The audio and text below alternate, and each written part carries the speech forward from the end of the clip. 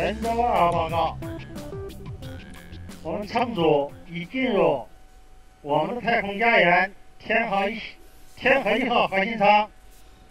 感谢全国人民的支持，感谢广大科技工作者的辛勤付出，敬礼！